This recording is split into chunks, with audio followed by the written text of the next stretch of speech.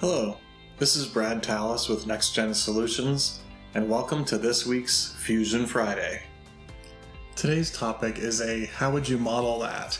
Uh, this punch was sent to me uh, from a customer, and they were asking how would you go about modeling these, you know, angled, tapered faces down here at the bottom.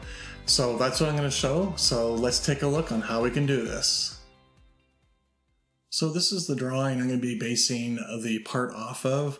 Uh, first thing we can see is we're in millimeters, um, but there's a couple key things here. So we can see the overall height is 85, the overall width is 24.04.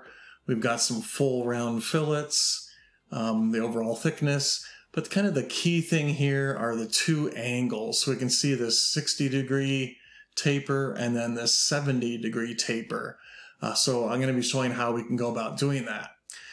So let's start by creating a new design. And the first thing I want to make sure is we're in the right units. So I'm going to change from inch into millimeters. And then I'll create a new component and let's just call it punch. We'll start by creating a sketch on the front plane. And I like to create a center rectangle kind of keeps everything symmetric. So we know the overall width and height. So the width is that 24.04 and the overall height was 85 millimeters.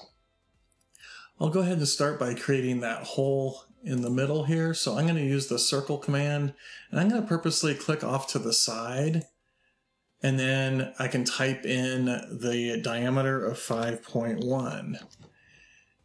Now I want to make it perfectly lined up with the center of this rectangle, and that's why I started out with a center rectangle. So I'm going to use the horizontal vertical constraint. I'll select the center of the circle and this point here, and it's going to make those two points in line with each other. Okay, now it's still showing that it's not fully constrained, so I'll go ahead and add a dimension in here. And off of the drawing, that's a distance of 9 millimeters. Okay, now the next thing I want to do is to create that curved bottom part. So once again, I'll use the circle. I'll go ahead and place it kind of randomly, but you'll notice that it's asking for a diameter. And according to the drawing, it's a radius of 16.75. Uh, if I right mouse click, you'll notice I don't have any options for changing to a radius. So I'm just going to go ahead and place that circle on there. Then I'll use the sketch dimension command, click on the circle, and again, you'll notice it's showing it in diameter. But this time, if I right mouse click, I do have the option to select radius. So I'll go ahead and place that, and the radius is supposed to be 16.75 and it created a much larger circle for me.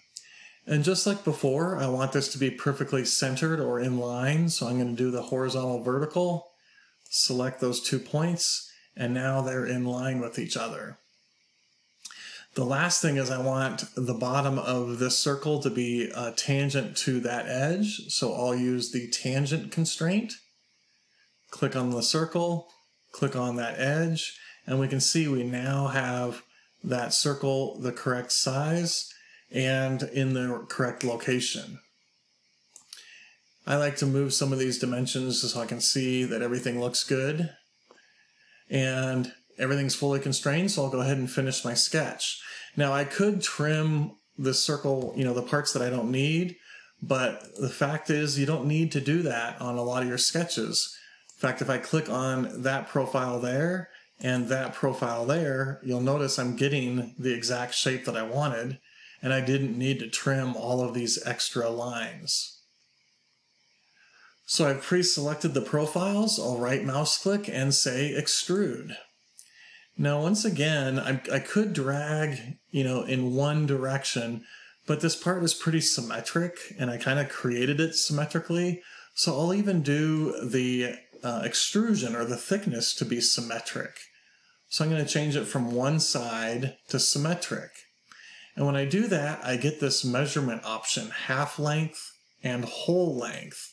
So I'm going to change it to whole length And we know that the whole length, or thickness in this case, is 2.28.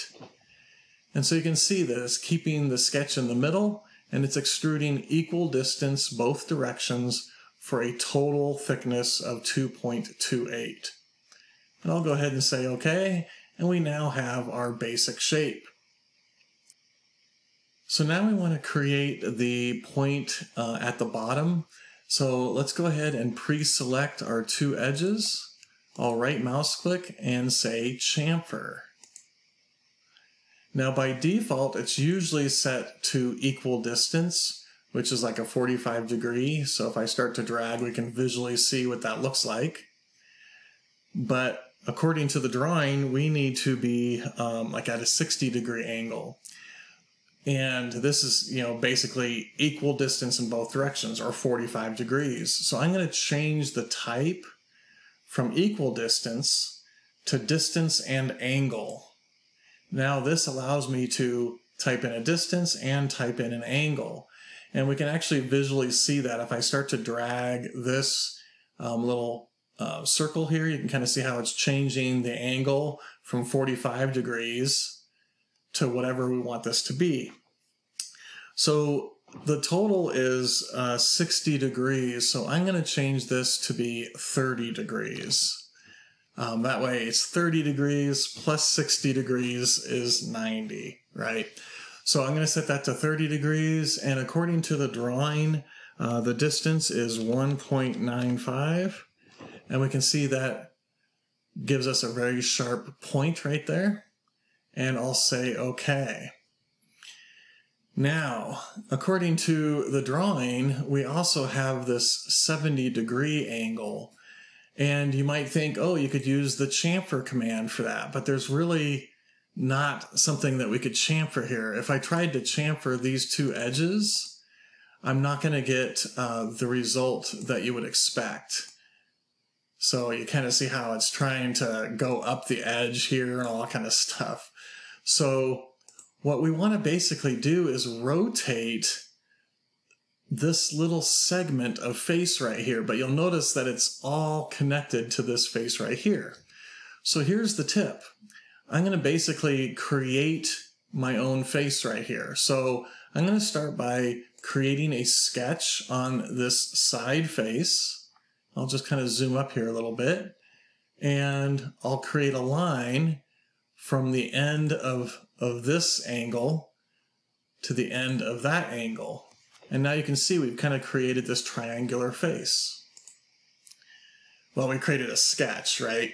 Now, um, this is still all one face, but we need to basically separate it. So it's in two separate faces. So to do that, I'm going to use the split body command. So I'm going to say split body. What's the body to split? What's my splitting tool? I'm just going to click on that edge right there and you can see it created this big red disc and it's going to use that edge and it's basically slicing all the way through the model. And that's because this extend splitting tools is turned on. Also watch what happens in the bodies folder. Right now there's one. As soon as I say okay, we now have two separate bodies that we could turn on or off which now has basically made this its own face. And same thing over on the other side. This is its own face. Then what we're going to do is basically just rotate this face around an axis, which is this edge. So I'm going to go into the move command and we can see the move type or the move object. Sometimes it defaults to bodies. If it does, make sure you're set to faces. And then I like to change the move type to rotate because that allows me to select an axis. Right now it's asking for what are we going to move, so I'm going to click on that face there. Then it's asking for the axis. I'll go ahead and select this edge and I get this little uh, circular rotation and I'm just going to drag it so you can kind of visually see what's happening here. So we're rotating that face around that axis. Well, we need an angle, a total angle of 70, so I'm going to say minus 35. Because if I do 35 on one side and 35 on the other, that would be a total for 70. So I'm just going to go ahead and say OK. And we've just rotated that vertical face to be at an angle. So I'm going to do the exact same thing on this other side. I'll say move, face. We'll select the axis. Start to rotate so you can kind of visually see. If I click in here, it remembers my last command. So I'll go ahead and say minus 35 and say OK. And we've now kind of created that tapered area for the punch. Now, these are still two separate bodies, and I want to start working with them as one. So I'm going to combine them back together. So under the modify menu, there's the combine command, or you might actually have it up here in the main menu. So I'm going to say combine my target, the tool.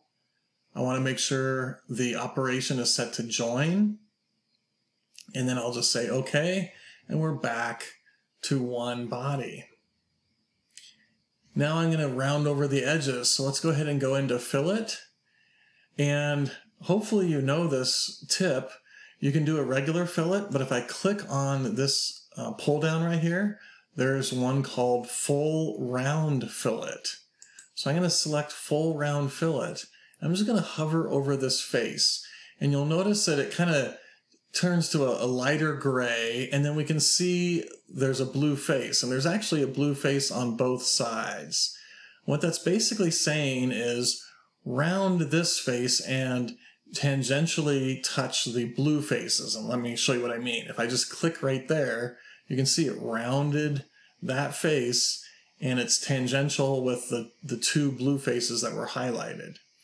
So I'll do the same thing over here. I'll just add another selection set kind of get near this face right here. Click, and we get that full round. Now, if I look down here, it went all the way down this edge, but it couldn't wrap around the corner. So we're going to go ahead and do a smaller fillet. Um, in this case, uh, on this little edge right here. Oops, let me make sure I select the edge. Oh, notice it's set to full round fillet. I'm going to change it back to regular fillet. And then I can select this edge and this other pointed edge right there. And these are just a small radius of one. And I'll go ahead and select that edge and that edge. Say OK. And we are now done with our punch. Hopefully you found this video useful. If you did, all I ask is that you give the video a thumbs up and share or repost the video with others in your network. This will help spread the knowledge of Fusion out to the community. If you have any comments or ideas for future topics, please reach out to me at bradtallis at nexgensolutions.com, and I look forward to seeing you on the next Fusion Friday.